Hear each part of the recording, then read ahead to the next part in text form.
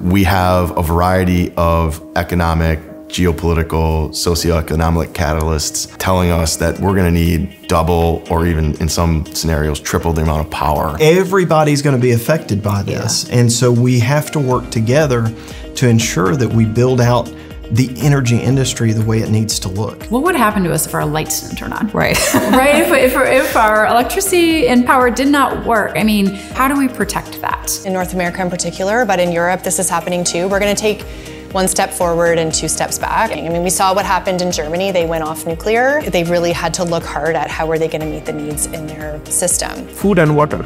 Either of them should not be competing with energy. Mm. And actually, in the current scenario, that could very well be the case. So we're demonstrating not only the clean generation of power, we're also demonstrating the clean generation of steam for food processing and industrial use. So it's got a power application.